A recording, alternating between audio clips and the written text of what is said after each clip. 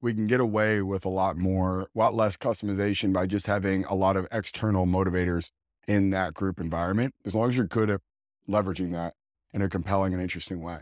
But when we're looking at the goal setting, there's probably a really good model you should be thinking about is this idea of a pre-mortem that we look at if we were going to lay out a plan towards accomplishing an outcome. Let's say we want to win our conference championship or we want to have X amount of our guys go to the NBA or the NFL or Major League Baseball or NHL or whatever, right?